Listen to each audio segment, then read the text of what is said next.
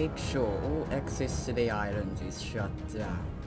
I want the garrison here within the hour.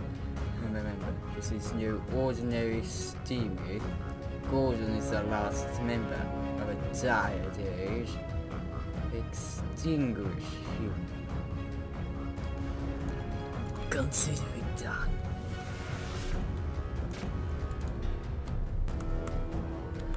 There is something you should see, Brandon.